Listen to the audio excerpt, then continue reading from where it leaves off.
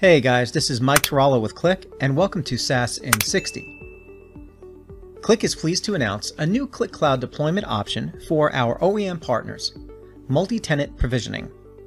Multi-tenant provisioning allows our partners to deploy tethered individual Qlik Cloud tenants for each of their customers quickly and efficiently with automation, accelerating their time to market with new offerings and content updates, while ensuring data privacy and compliance between customers.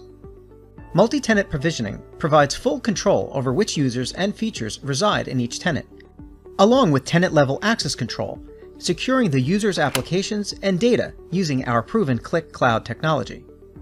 A full set of APIs provide flexibility to integrate analytics provisioning with solutions the partner chooses, from full code to low code, in an automated fashion, saving time for repetitive onboarding and update tasks across tens to thousands of end customer tenants with less downtime, disruption, and cost. And if you want insight into your deployments, the monitoring apps for Qlik Cloud have been improved to now support multi-tenancy. Data spanning multiple tenants can now be collected and viewed from a single tenant. This allows users to see metrics and information from multiple Qlik Cloud tenants in a single dashboard.